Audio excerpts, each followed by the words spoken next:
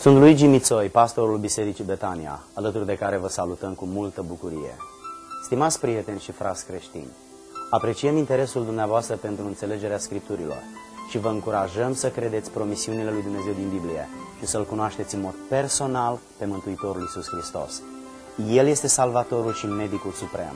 El este soluția lui Dumnezeu la toate problemele dumneavoastră. Vă mulțumim că veți rămâne alături de noi, ascultând mesajul care urmează. Vă dorim din toată inima un timp minunat, alături de Cuvântul lui Dumnezeu. Am petrecut împreună în această seară momente în care cântarea, rugăciunea sau citirea din Biblie ne-a adus aminte de sufletul nostru și de responsabilitatea direcției Lui, spre cer sau în altă parte.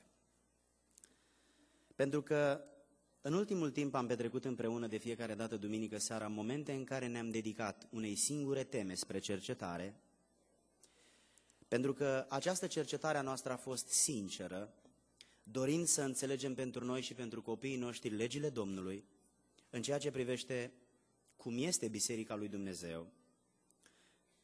Și câteva lecții bune din tema aceasta le-am consacrat înțelegerii persoanei și activității Duhului Sfânt în credincios și în biserică, am făcut o mică pauză cu prelejul sărbătorilor de iarnă, nașterea Domnului și anul nou.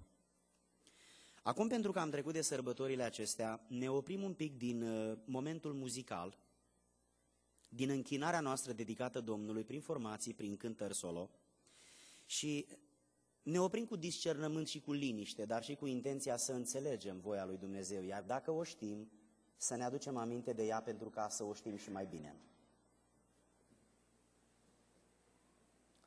În textul pe care l-am citit, observați că Domnul Isus Hristos subliniază că planul lui Dumnezeu a fost mai întâi să îl ofere pe Domnul Isus și mai apoi pe Duhul Sfânt. Încă o dată am să citesc, am să recitesc versetul 39. Spunea cuvintele acestea despre Duhul pe care aveau să-l primească cei ce vor crede. Atenție! Duhul Sfânt încă nu fusese dat pentru că Isus nu fusese încă proslăvit, dar după ce Isus va fi proslăvit și Duhul Sfânt va fi dat. Observați aici organizarea lui Dumnezeu. Îl dă pe Domnul Isus și mai apoi îl dă pe Duhul Sfânt. Dar mai întâi îl dă pe Domnul Isus și mai apoi îl dă pe Duhul Sfânt. Unul fără celălalt nu atinge obiectivul lui Dumnezeu. Și Dumnezeu a organizat ca mai întâi Domnul Isus Hristos să fie dat și primit și mai apoi Duhul Sfânt să fie dat și primit. Încă din introducere te pun în fața acestui obiectiv divin și te întreb pe dumneata și mă întreb pe mine, propria conștiință. L-ai primit pe Domnul Isus? L-ai primit pe Duhul Sfânt? Acesta este planul lui Dumnezeu. El l-a dat pe Domnul Isus și mai apoi l-a dat pe Duhul Sfânt. Cele cinci exemple de botez cu Duhul Sfânt din Cartea Faptelor, singurele din Biblie, pe care vi le-am prezentat data trecută și pe care foarte repede, foarte succint o să vi le prezint în seara aceasta din nou, dar cu alt scop decât cel de data trecută, o să ne aducă aminte de felul în care Biblia ne învață despre botezul cu Duhul Sfânt. Sigur că noi, de-a lungul vieții de creștin, am ascultat multe predici care au influențat teologia noastră despre Duhul Sfânt. Însă adevărul este că nu întotdeauna tot ce au spus predicile acestea este din Biblie. Și la fel de adevărat că nu tot ce scrie în Biblie a fost pus în predici. De aceea, persoana care nu are o relație directă cu Scriptura și trăiește numai din explicațiile altora, este un om care are în inima lui Scriptura trecută prin filtru minții umane. Este foarte important să avem învățători în biserică care ne explică legea Domnului, însă în virtutea preoției universale, noi suntem chemați să citim Scripturile singuri și să avem responsabilitatea propriului suflet înțelegând voia lui Dumnezeu din Biblie, ajutați fiind și orientați de învățătorii din biserică. Priviți, vă rog, situația din Ierusalim. Aș vrea ca să privim pe rând evenimentele acestea și să răspundem la trei întrebări. Care este metoda de botez cu Duhul Sfânt? Care sunt semnele care însoțesc botezul cu Duhul Sfânt? Și de data aceasta o noutate, care este situația spirituală a celor botezați. Și procedez la asta pentru că în seara aceasta fiind ultima lecție despre botezul cu Duhul Sfânt, dar nu și ultima despre ciclul de lecții cum este Biserica lui Dumnezeu, vreau să observăm și să răspundem la următoarea întrebare. De ce astăzi Biserica Penticostală procedează mai mult la una dintre cele trei metode? Adică la insistența în rugăciune sau la stăruința în rugăciune, la rugăciunea stăruitoare. De ce?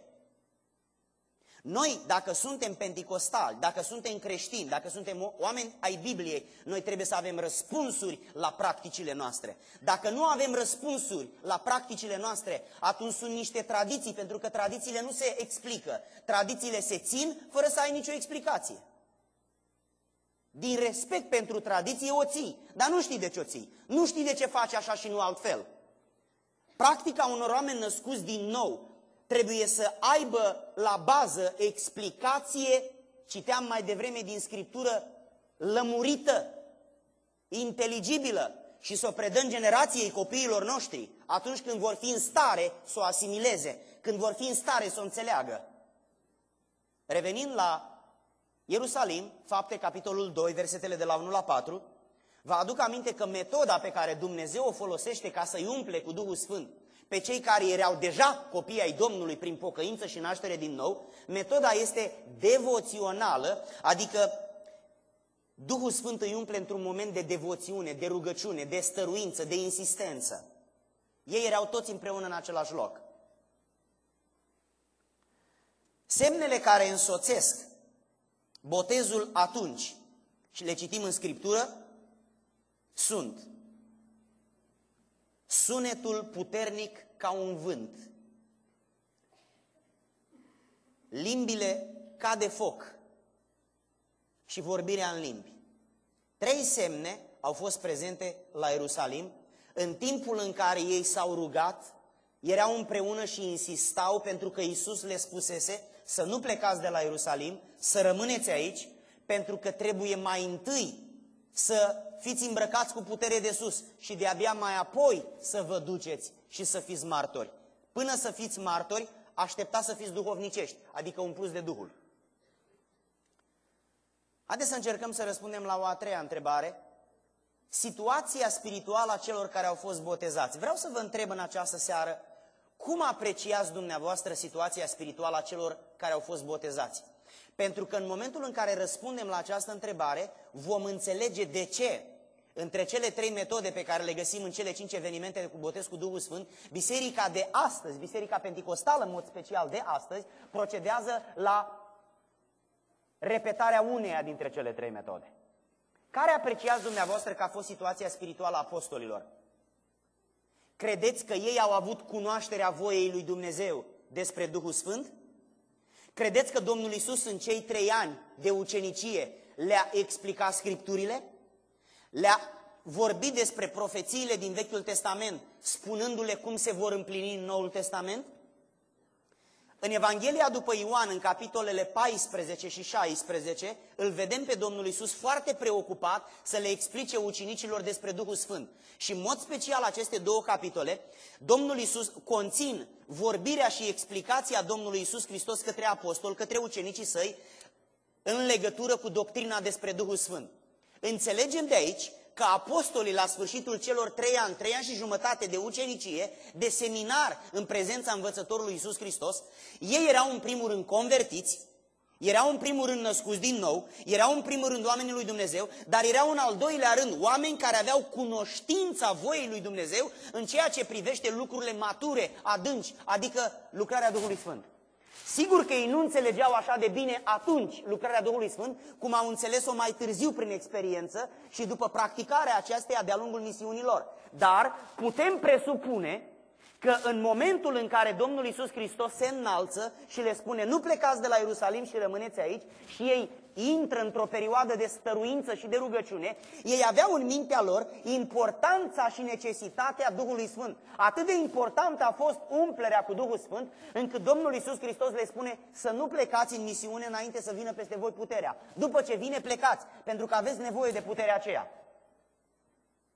Înțelegem că situația spirituală a ucenicilor care au aplicat metoda stăruinței a fost o situație matură. A fost o situație de cunoștință profundă a Bibliei, a legilor și a poruncilor lui Dumnezeu, a doctrinei despre Duhul Sfânt. Și va fi foarte important să ținem minte asta pe parcursul predicii din această seară. Ne mutăm la al doilea eveniment de umplere cu Duhul Sfânt care are loc în Samaria. Fapte, capitolul 9, versetele de la 15 la 18. Așa cum am stabilit data trecută și cum observăm limpede în Scripturi, în, Evanghe- în Faptele Apostolilor, în capitolul 8, în Samaria, nu mai întâlnim ucenicii care au avut o perioadă de consolidare, de învățătură, de creștere spirituală cu Domnul Isus.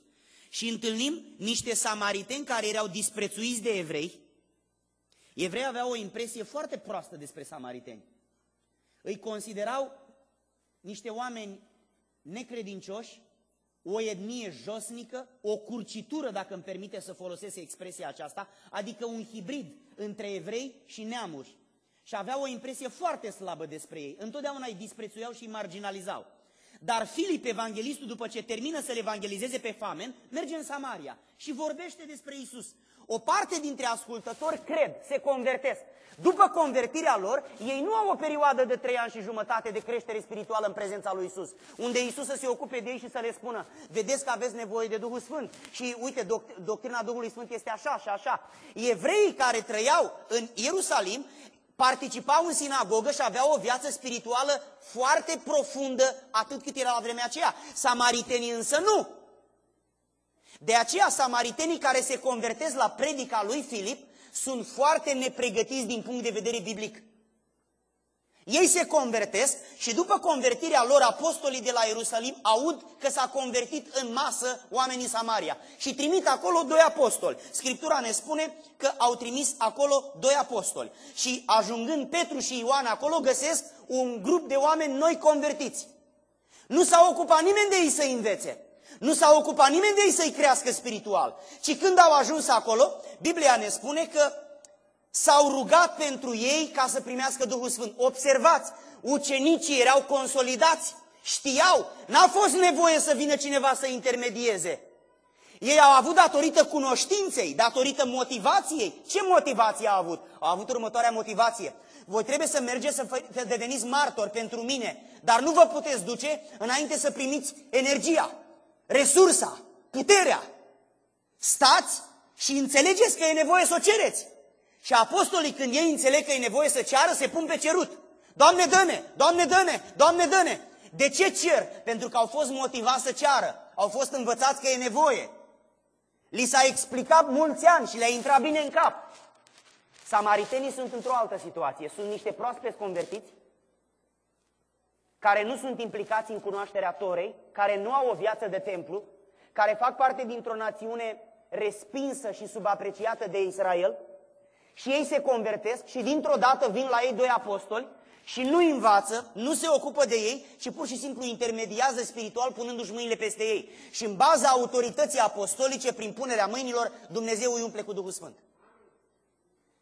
Observați însă că este o situație absolut diferită între situația spirituală a apostolilor și situația spirituală a samaritenilor. Tocmai de aceea și metoda este diferită. Care sunt semnele? Știți bine, așa cum spuneam data trecută, că Biblia nu ne spune că sunt semne. Ne spune doar, în versetul 18, că Simon, care era martor, a văzut ceva, nu știm ce. Probabil că a văzut o vindecare, a văzut vorbire în limbi, a văzut cântări de laudă sau a văzut prorocii, cum vom vedea că s-au întâmplat în alte cazuri de umplere cu Duhul Sfânt. Dar Biblia nu spune ce a văzut, de aceea nici noi nu putem spune. Pentru că noi nu suntem apostoli sau predicatori sau păstori mincinoși, ci suntem oameni ai Bibliei și nu spunem decât ce spune Biblia. Nu vrem să-L ajutăm pe Dumnezeu mai mult decât să ajută El singur.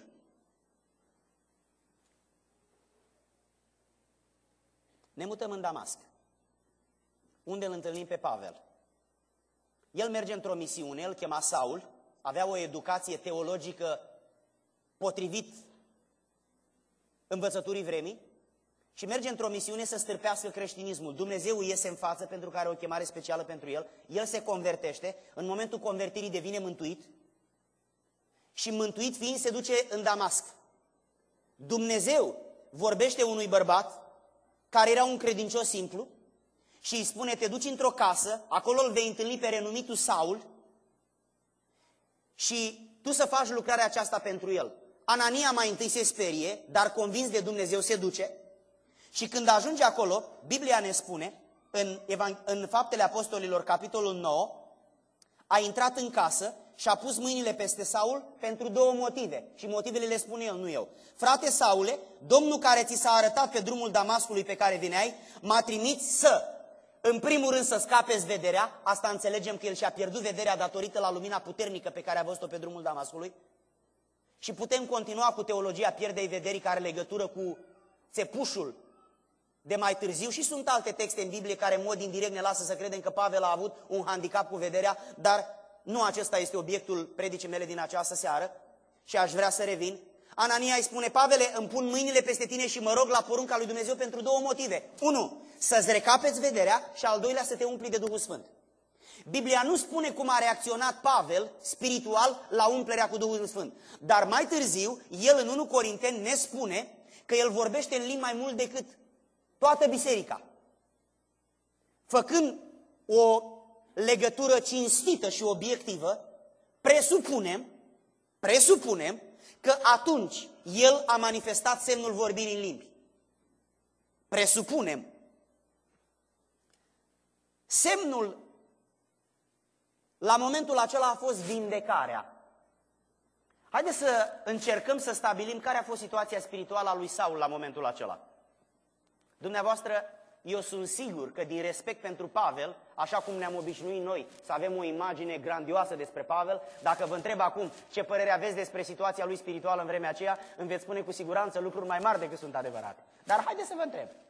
Ce părere aveți despre situația spirituală a lui Saul în momentul în care Anania își pune mâinile peste el? Unde studiase el? La picioarele lui Gamaliel. Gamaliel era rectorul sau directorul uneia dintre cele două școli de gândire ale vremii. Erau două mari școli de gândire teologice. Dar când spunem teologice, nu înseamnă neapărat biblice și nici măcar nu înseamnă ce înțelegem noi astăzi prin teologice, ci înseamnă măsura de revelație explicată de rabini la vremea aceea, plină cu tot felul de tradiții, plină cu tot felul de explicații omenești. Ei, Saul la momentul acela avea în minte asta. Dacă eu vă spun că Saul nu avea o cunoștință biblică atunci, vă și argumentez. În momentul în care el se întâlnește cu Isus pe drumul Damascului, el îl întreabă pe Domnul, Doamne, cine ești? Păi tu, licențiat în teologie, nu știi cine e?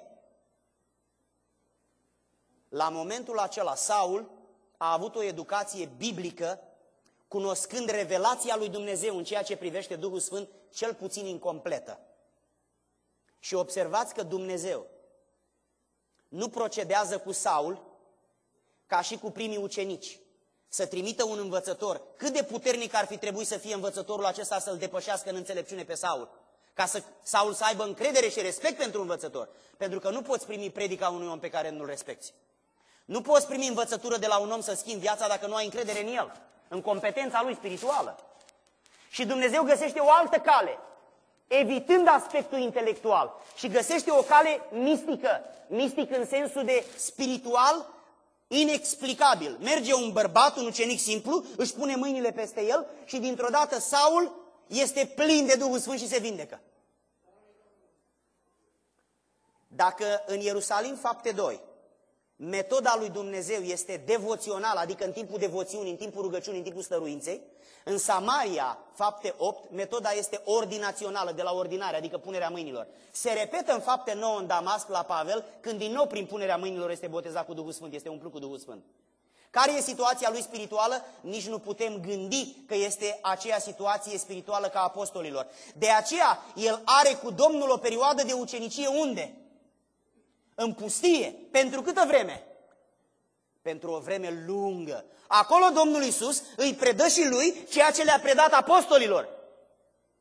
De aceea el merge și se confruntă cu apostolii și pentru că au avut același învățător, au aceeași teologie. Ne mutăm la exemplu numărul 4. Cezarea. Aici găsim o familie de romani. Ofițerul acesta, care era de o bârșie romană, de naționalitate romană, el și familia lui și oicosul lui. Oicos înseamnă în limba greacă rudeniile, mai, rudeniile casei. Este acesta este cuvântul din limba greacă, de aici din Noul Testament, când Biblia vorbește despre el și casa lui, este el și oicosul lui. Acesta este cuvântul. Și vi-l spun pentru că îl veți găsi de multe ori cei care citiți cărți teologice. Ei bine, în fapte, în capitolul 10, găsim a treia metodă de botez cu Duhul Sfânt. Suntem la metodă. Metoda nu mai este nici devoțională prin stăruință, pentru că Sol, ofițerul roman și casa lui n-aveau o educație teologică. Ei erau educați la Roma în religiile lor. Ei se mută cu serviciu în Israel și dintr-o dată se confruntă cu o cultură nouă, cu o religie nouă. Înțelegem că ofițerul acesta roman stă pentru multă vreme în Ierusalim, pentru că el începe să accepte religia lui Israel și începe să-L accepte pe Dumnezeu. Biblia ne spune că l-a acceptat atât de mult încât era temător de Dumnezeu, făcea rugăciuni și făcea milostenie, dar le făcea din respect pentru Dumnezeu. Asta înseamnă că el a avut o emigrație de câțiva ani acolo, și în perioada aceasta el a fost îndoctrinat de ceva prieteni, de ceva relații despre Dumnezeul lui Israel, Dumnezeu pe care el l-a acceptat și a început să îi se închine lui. Dar sigur că educația lui biblică și teologică era poate inexistentă. Nu putem spune cu desăvârșire că era convertit, dar acestea sunt faptele unui om convertit. Nu putem spune că nu era convertit pentru că nu avem motive să spunem. Spunem doar că atunci când un om se teme de Domnul, asta înseamnă că în el lucrează Duhul Sfânt. Un om nu se teme de Domnul din fire. Atunci când un om se roagă lui Dumnezeu mult, asta înseamnă că se roagă în dimensiunea Duhului Sfânt. Și asta înseamnă că Duhul Sfânt îl cercetează și că în el se face o lucrare de schimbare, de naștere din nou, din mântuire. Măcar că nu putem afirma că Corneliu a fost născut din nou, dar nici nu putem infirma. E posibilă și una și alta. Biblia nu ne spune, deci nici noi nu putem spune.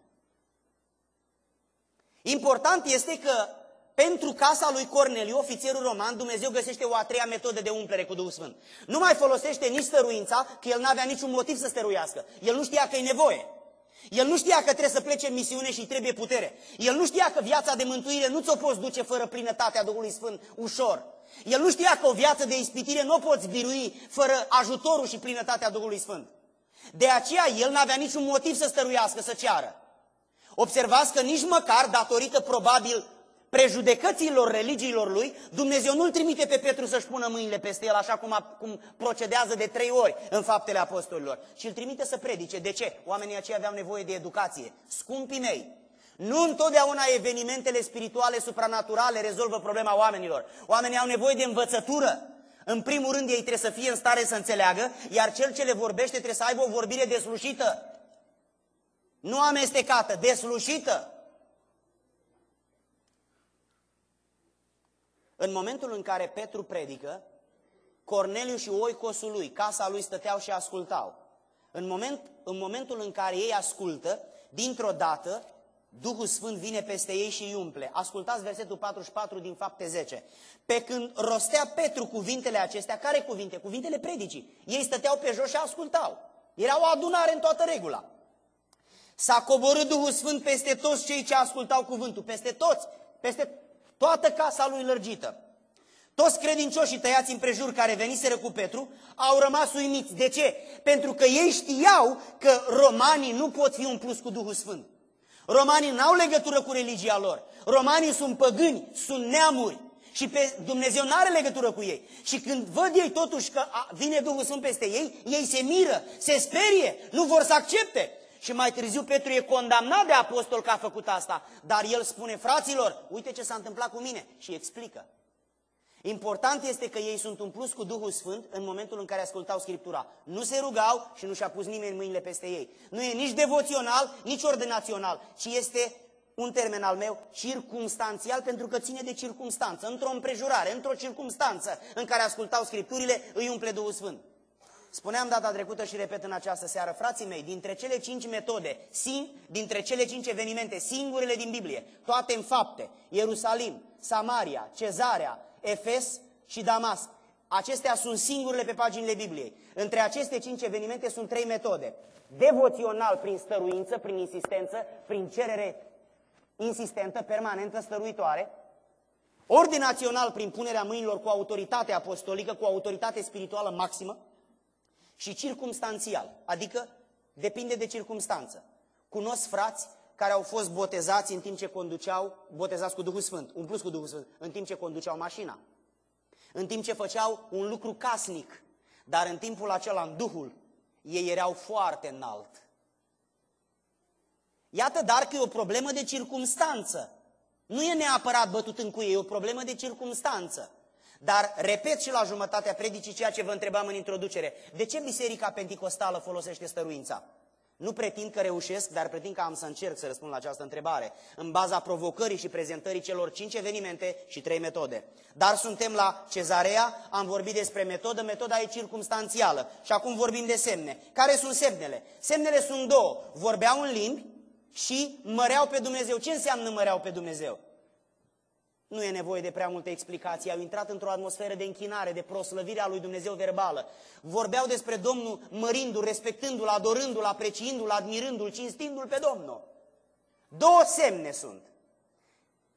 Pe primul îl găsim în, în trei dintre cele cinci, în mod direct, bănuind că sunt și în celelalte două, dar este doar o presupunere, pentru că Biblia la Samaria nu spune că a existat vorbire în limbi, spune doar că Simon a văzut ceva, noi presupunem că a fost vorbirea în limbi, dar presupunerea nu este scris.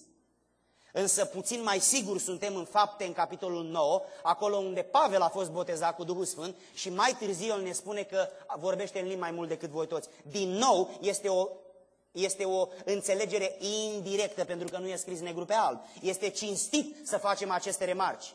Este cinstit.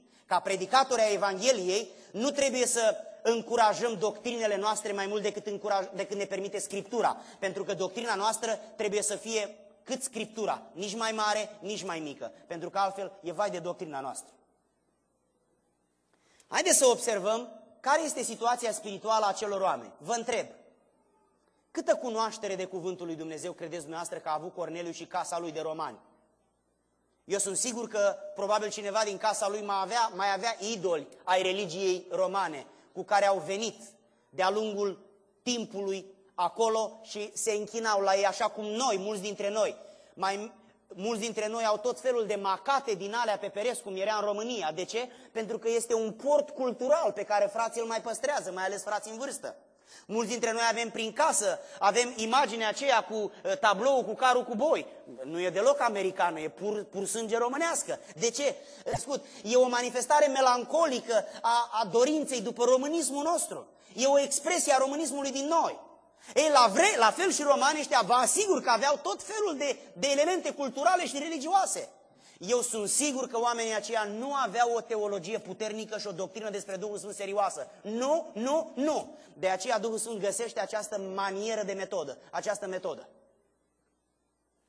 Ne mutăm la, ultima, la ultimul eveniment, în capitolul 19, peste 9 capitole dăm pagina în Faptele Apostolilor și ajungem la Efes. Aici întâlnim o situație la fel de diferită ca celelalte. Care este metoda? Metoda este tot prin punerea mâinilor. Deci, dintre cele cinci evenimente, de trei ori este ordinațional, prin punerea mâinilor, o dată este prin stăruință și o dată este circumstanțială, legată de o circumstanță, de o împrejurare. Care este, care sunt semnele? Semnele aici citim în versetul 6, partea a doua a versetului 6, adică ultima parte. Vorbeau în limbi și proroceau. Observați cât de diverse sunt semnele. Singurul care e prezent peste tot e vorbirea în limbi. Cu excepția celor două unde există presupunere.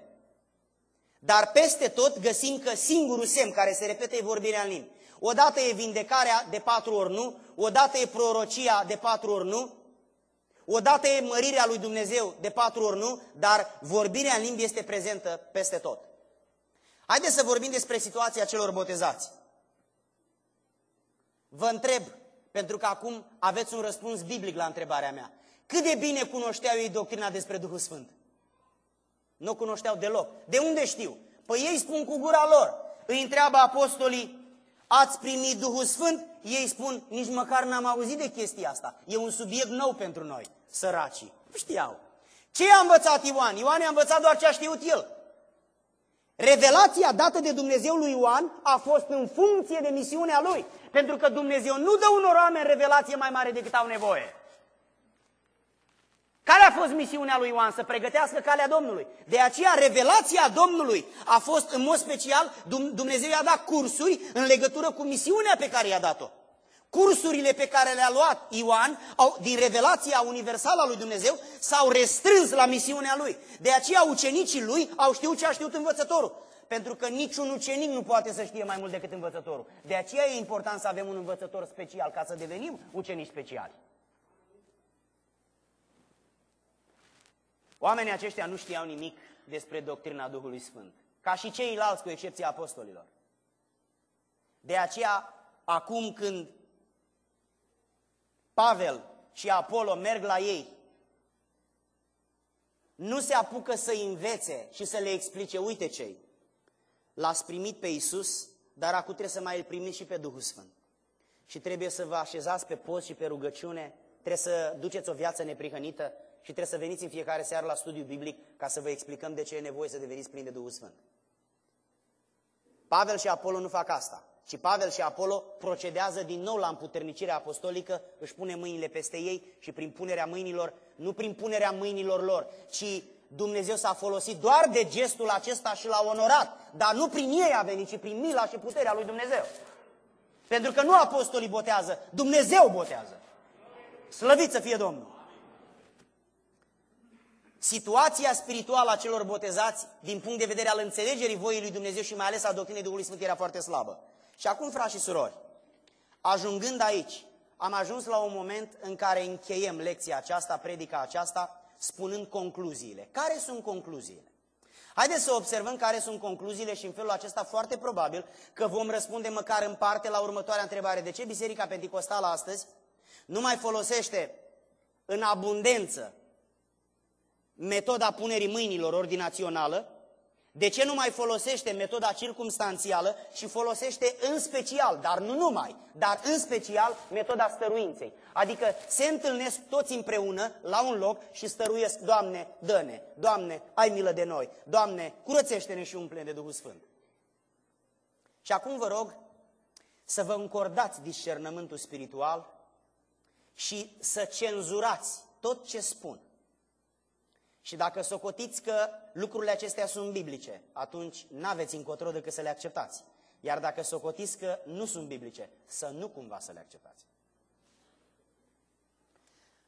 Observăm în primul rând că toți oamenii care vor să meargă în cer, în primul rând trebuie să se pocăiască. Pocăința este invitația lui Dumnezeu, dar în principiu este reacția omului la invitația lui Dumnezeu. În al doilea rând trebuie să se nască din nou. Și nașterea din nou o face Duhul Sfânt și Cuvântul Domnului. În al treilea rând trebuie să se sfințească și Duhul Sfânt participă din abundență. Și în al patrulea rând, un credincios adevărat trebuie să devină plin de Duhul lui Dumnezeu. Niciuna dintre aceste patru lucruri nu sunt opționale. Nici pocăința, nici nașterea din nou, nici sfințirea și nici umplerea cu Duhul Sfânt nu sunt opționale. Toate sunt porunci. Dacă erau opționale, un apostol doi le împlineau, ceilalți nu. Dacă erau opționale, Petru nu predica despre ele în fapte 2, când întreabă mulțimea ce să facem fraților. Și Petru răspunde, 1. Pocăință. 2. Botez în apă. 3. Umplere cu Duhul Sfânt.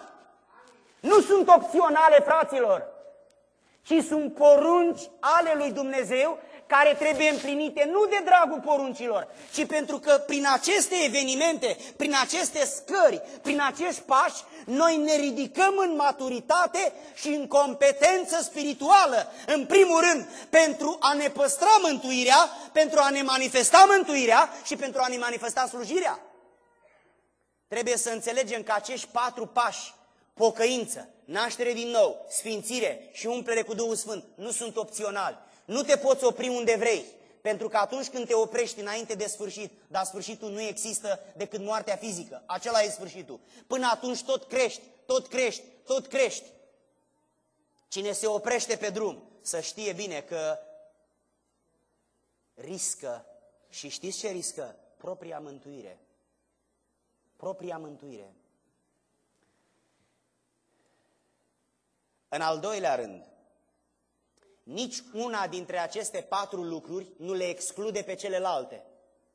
În primul rând, cele patru nu sunt opționale. Toate trebuie făcute. În al doilea rând, niciuna dintre cele patru nu sunt suficiente ca celelalte să devină insuficiente. Adică, dacă te pocăiești, asta nu înseamnă că nu mai ai nevoie de nașterea din nou. Dacă te naști din nou, asta nu înseamnă că n-ai nevoie de sfințire. Iar dacă te sfințești, asta nu înseamnă că n-ai nevoie de umperea cu Duhul Sfânt. Fiecare dintre acestea patru au rolul lor, au importanța lor și în viața omului trebuie neapărat să existe pentru că este o nouă dimensiune spirituală, e un nou orizont spiritual. Unul dintre cele patru nu le acoperă pe celelalte, fiecare trebuie făcut. Așa cum eu primul lucru pe care îl fac este bag mâncarea în gură, apoi o mestec, apoi o înghit, apoi stomacul face mai departe treaba. Niciuna dintre din proced... evenim... niciun eveniment din procesul acesta nu îl înlocuiește pe celelalte. Fiecare eveniment e necesar. Apoi, niciuna dintre cele patru nu este mai importantă. Să știți că pocăința nu este mai importantă decât nașterea din nou, sau invers. Nașterea din nou nu este mai importantă decât sfințirea sau invers. Sfințirea nu este mai importantă decât umplerea cu Duhul Sfânt sau invers. Nu, nu, nu. Sunt patru lucrări spirituale pe care le face Duhul Sfânt și fiecare are importanța ei și fiecare are rolul ei și fiecare trebuie să existe. Nu sunt importante și puțin importante. Apoi, fiecare dintre aceste lucrări îl ridică pe credincios la o nouă treaptă, la o nouă dimensiune spirituală, la o nouă treaptă de cunoaștere, la o nouă măsură spirituală de cunoaștere a lui Dumnezeu, la o nouă competență spirituală. Cu cât ești mai la început, cu atât ești mai jos. Acum eu nu vorbesc că ești mântuit sau că nu ești mântuit, pentru că în momentul în care omul se pocăiește, se naște din nou, omul e mântuit. Numai că problema se pune dacă într-o viață de om îți poți duce mântuirea până la capăt singur. Nu se pune problema primirii mântuirii, că mântuirea se primește prin credință. Credința în Isus. Pe cât este de simplă tema aceasta, pe, pe atât e de complicată. Și complicată nu o face Biblia. Complicată o fac prejudecățile noastre care se amestecă în mintea noastră și nu mai știm ce să credem. Observăm că botezul în Duhul Sfânt este în același timp, dacă vă mai aduceți aminte de începutul ciclului de lecții, este și lucrare interioară și lucrare exterioară. Este și lucrare interioară că se întâmplă în interior. Și este și lucrare exterioară pentru că el este dat pentru manifestarea exterioară a slujbei. Haideți să citim două versete biblice. Pe unul știți pentru că vi l-am citit prea des ca să-l uitați. Este Fapte, capitolul 1, versetul 8. Voi veți primi o putere când se va goborâ Duhul Sfânt și această putere o veți primi ca să fiți martori. Și acum citim și Luca, capitolul 24, versetul 49.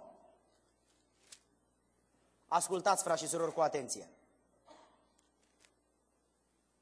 Și priviți în același timp în Biblia dumneavoastră. Și iată că voi trimite peste voi făgăduința Tatălui. Dar rămâneți în cetate să nu plecați. Rămâneți aici că e important. Rămâneți în cetate până veți fi îmbrăcați cu ce? Cu putere. Din nou cuvântul dunamis. Același dunamis din fapte unul cop. Dinamita. Rămâneți până primiți dinamita. De ce? Priviți versetul 48 de deasupra. Voi sunteți martori. Voi sunteți martori. Voi sunteți martori, dar ca să fiți martori așteptați dinamita. Ca să slujiți, așteptați darurile, așteptați împuternicirea, așteptați lucrările Duhului Sfânt. Unde vă duceți? Cu școlile voastre, cu ideologiile voastre, cu omenescul din voi. Cine are nevoie de omenescul și de filozofiile voastre? Cine? Nimeni. Nimeni.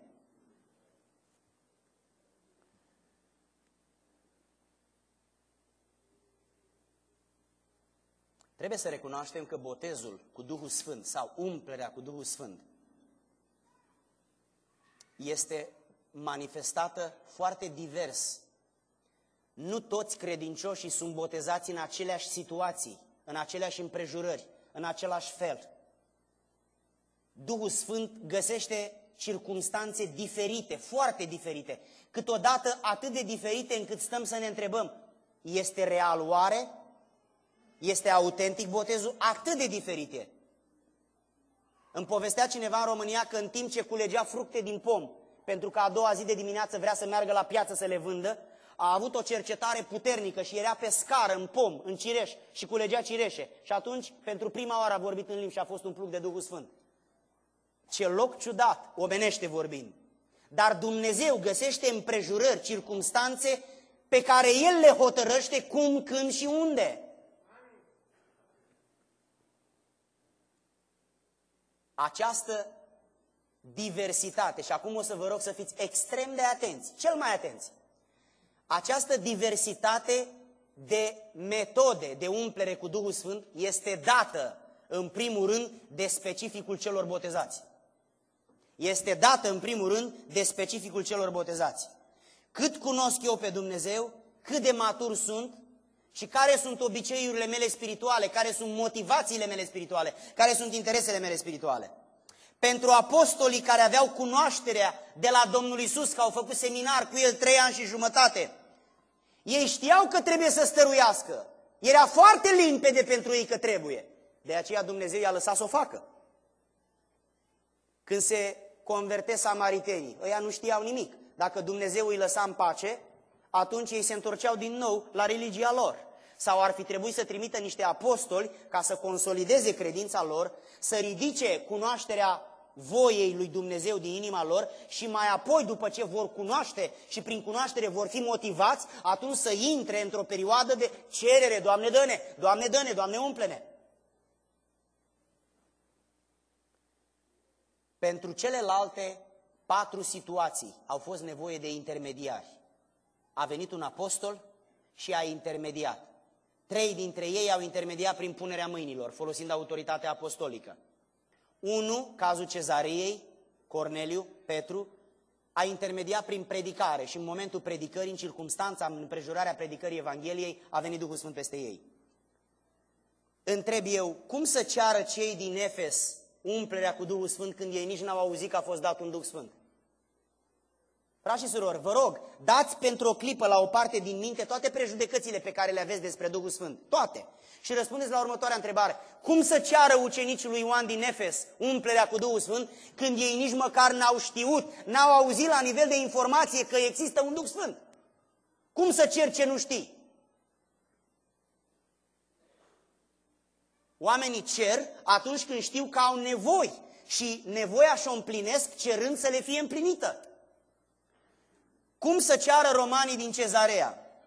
Cum să ceară Saul, teologul lui Gamaliel? Cum să ceară proaspeții convertiți din Samaria? Însă vreau să te întreb pe dumneata care ești de 2, de 5, de 10, de 15 ani în biserică. N-ai ascultat destule predici în 15 ani? N-ai citit suficient Biblia în 15 ani? Ba da. Și atunci? De ce trebuie neapărat să vină cineva și să te ajute să intermedieze? Ăștia, în ăștia 15 ani ce ai făcut? Chiar n-ai învățat nimic? Chiar n-ai prins nimic la inimă? Chiar nu s-a întâmplat nimic?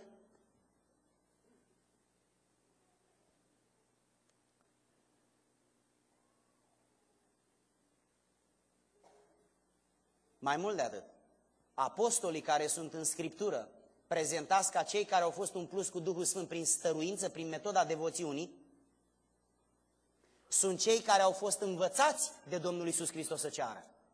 De două ori în Biblie Domnul învață, o dată în fapte 1 cu 8 și o dată în Luca, capitolul 24 cu 49. Aduceți-vă aminte că îi mai învață o dată și în fapt în Luca, capitolul 11, unde le spune dacă un tată știe să dea daruri bune copiilor lui, cu atât mai mult Dumnezeu va da Duhul Sfânt celor cel cer. În momentul în care le-a spus asta, le-a spus voi dacă cereți, îl primiți pe Duhul Sfânt. De aceea oamenii aceștia au fost învățați să ceară și ei au cerut.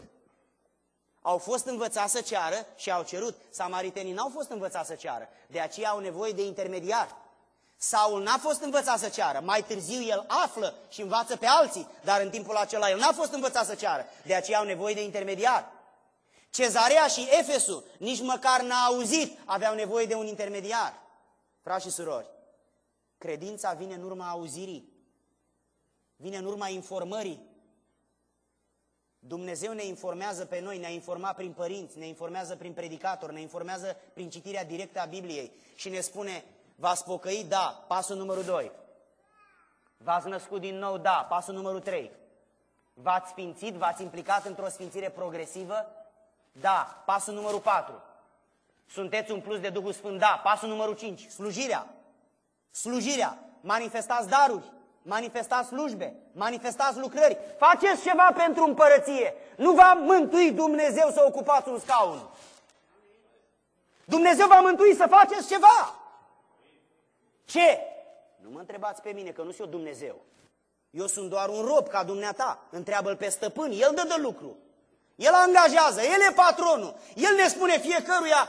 Biblia spune cine are o chemare să se țină de ea. Nu eu fac chemări pentru oameni eu în cel mai bun caz pot constata că ai chemarea să predici, pot constata că ai chemarea să cânți, pot constata că ai chemarea să fii ușier sau altceva, pot constata, dar chemarea o face Dumnezeu. Fiecare dintre noi trebuie să avem o chemare. Care este a mea? Care este a dumitale? Dacă nu e niciuna, întreb eu, ce beneficiu are Dumnezeu că ne-a mântuit? Dacă nu ne-am lepădat de egoismul să facem doar pentru noi, timp în care nu facem nimic pentru El. Orice om mântuit trebuie să slujească, iar orice om care slujește trebuie să fie plin de Duhul Sfânt. Altfel, eficiența lui în slujbă va fi minimă. Va fi minimă. Cu cât e omul mai plin de Duhul Sfânt, cu atât măsura de inspirație, măsura de putere, manifestarea de putere, prezența de daruri, prezența de supranatural este acolo.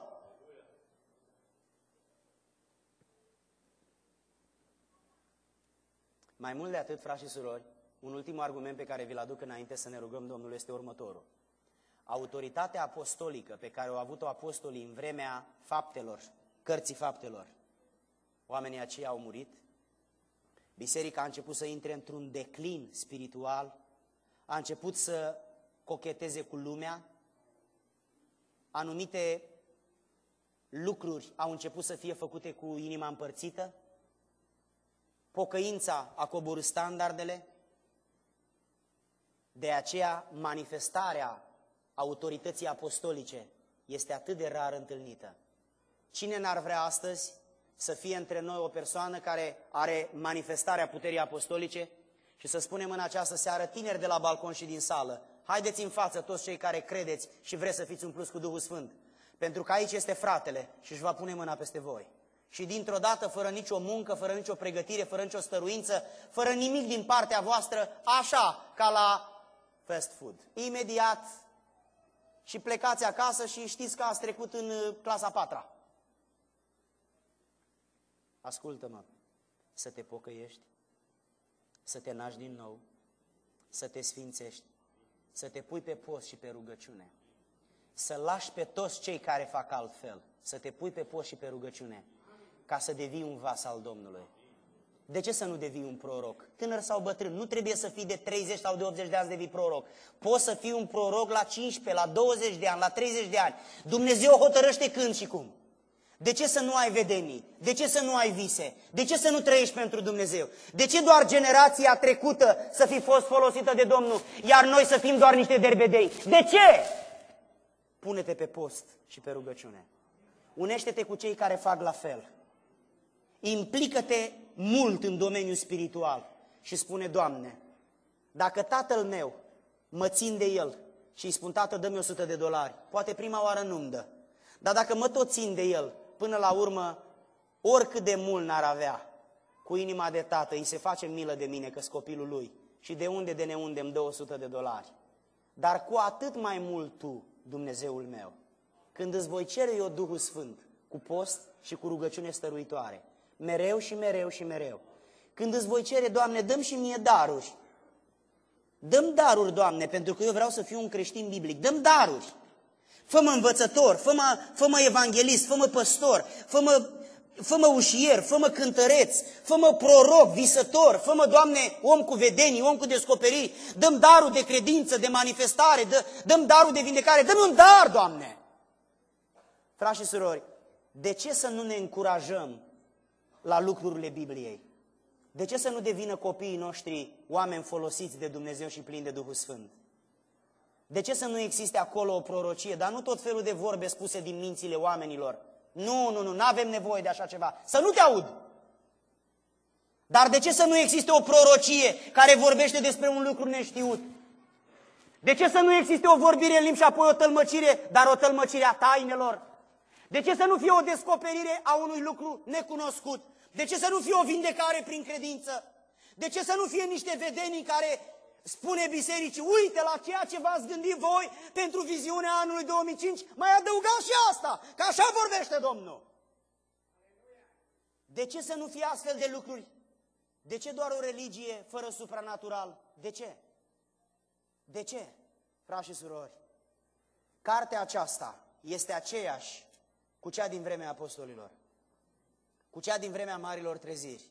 Și cartea aceasta ne va condamna într-o zi pentru că ne-am permis un creștinism căldicel, care ne păstrează în confortul nostru, implicați în lumea materială până peste cap, pentru beneficii materiale.